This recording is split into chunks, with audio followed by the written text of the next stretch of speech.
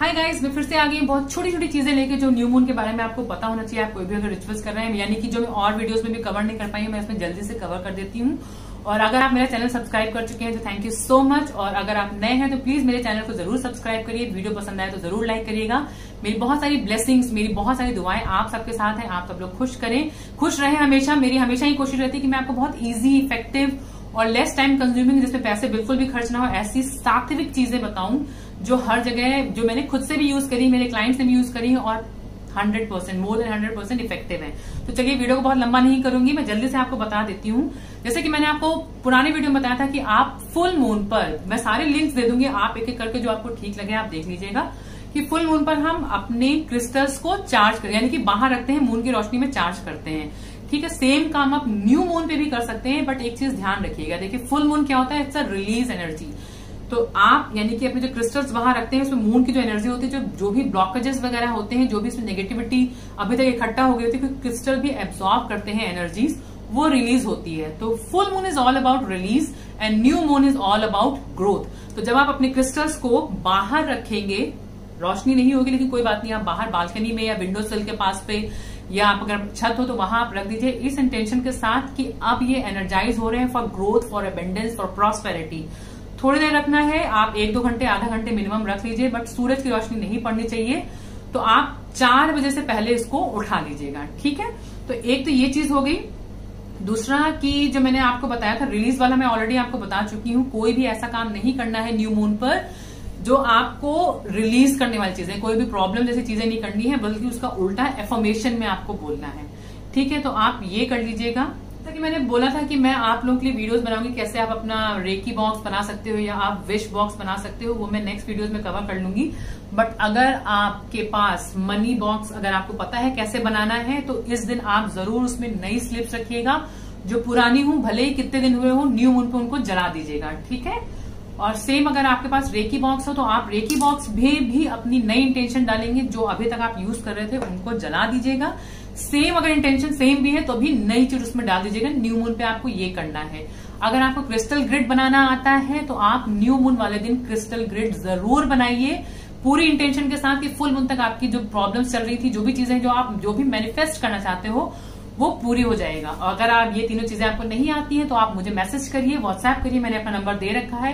Please call नहीं करिएगा क्योंकि मेरे पास इतना मतलब टाइम नहीं होता है कि मैं सारी कॉल्स उठा सकूँ, क्योंकि बहुत सारी हीलिंग्स भी अगर जूम पे चल रही होती है तो वो बीच में डिस्टर्ब जाती है। तो आप सिर्फ़ मुझे मैसेज कर दीजिए, मैं आपको रिप्लाई ज़रूर करूँगी।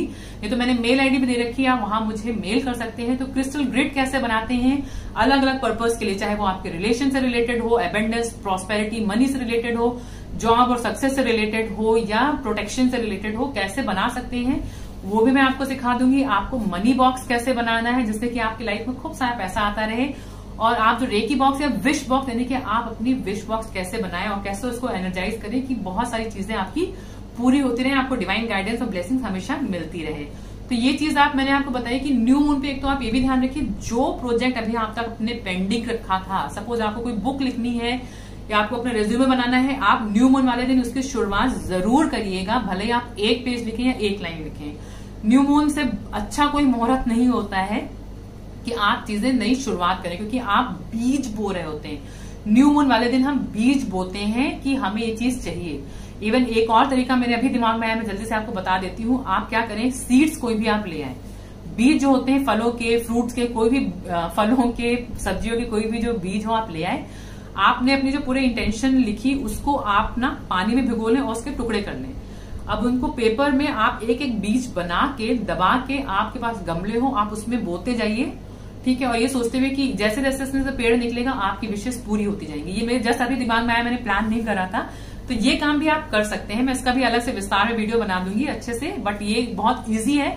कुछ नहीं करना है। कागज़ पे पूरी विश लिखी, उसको आपने पानी में भिगोया, ठीक है? उसके बाद उसको पानी से छान के अच्छे से आपने करा, फिर जैसे उसको प्लेन करके उसमें बीज डाल के आप वो बीज गमले में लगा दीजिए और जैसे जैसे उसको रोज पानी देना है सेम इंटेंशन के साथ उसकी केयर करनी है कि आप जो केयर जो पानी उसको दे रहे हो, यानी कि आपकी इंटेंशन उतनी फल फूल रही है जैसे उसमें पेड़ निकलेगा, आपके लाइफ में भी खुशियाँ और गोल्स आपके पूरे होते रहेंगे। ठीक है मैं एकदम से दिमाग में सोचा मैं आपको बता दूँ।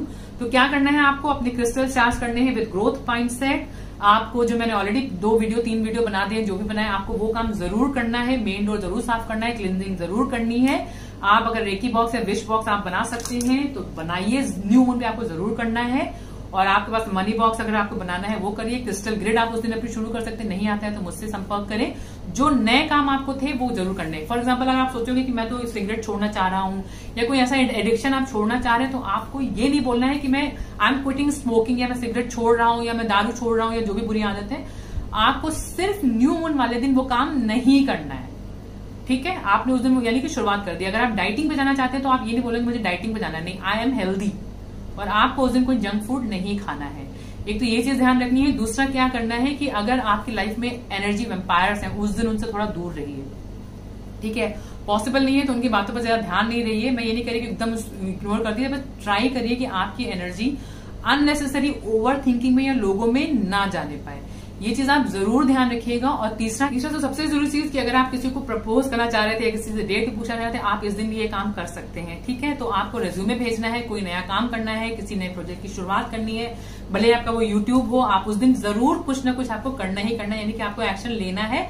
न्यू मून वाले दिन ये भी एक तरीका है, बीज बोने का। आपने अपने डिज़ायर के बीज बो दिए और फुलफिल हो जाएँगे। न्यू मून होता क्या है? देखिए मून साइकिल्स हमें बहुत ज़्यादा इम्पैक्ट करती हैं। कई सारे लोगों का पूरा दिमाग घूम जाता है जब मून साइकिल्स आसपास होती हैं।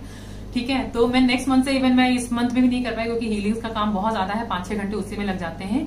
बट मैं न्यू मून वाले बैचेस भी स्टार्ट करूँगी जहाँ न्यू मून मेडिटेशन वगैरह होंगे इंपावरमेंट आपको दिया जाएगा। वो अलग चीज़ है, फिर उसके बाद में बात करेंगे। बट अगर आपको कोई अपॉर्चुनिटी क्योंकि ल्यूनर साइकिल्स बहुत ज़्यादा रोल प्ले करती हैं हमारी लाइफ में तो स्पेशली अगर न्यू मून वाले दिन आपके पास कोई जॉब अपॉर्चुनिटी आती है या कोई स्ट्रेंजर आपको इन्विटेशन या कॉल करता है या आपको डेट जाने को पूछता है या कोई नया आदमी आपकी ज़िंदगी में या आदमी या जो भी पर्सन आपकी लाइफ में आता है डायरेक्टली इग्नोर नहीं करना है। किसी भी तरीके की इस तरह की अपॉर्चुनिटी को डायरेक्टली आपको रिजेक्ट नहीं करना है।